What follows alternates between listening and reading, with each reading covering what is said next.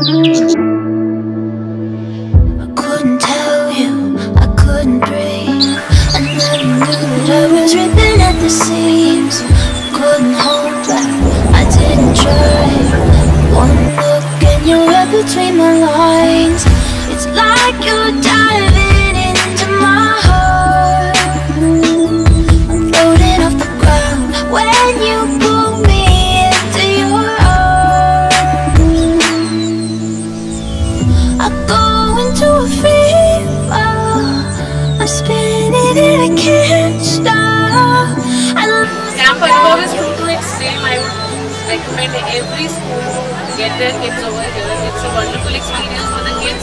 The kids are learning a lot of life skills and other skills which are very much required for those students who are completely living in the city life. They get a taste of the nature and it's a wonderful experience.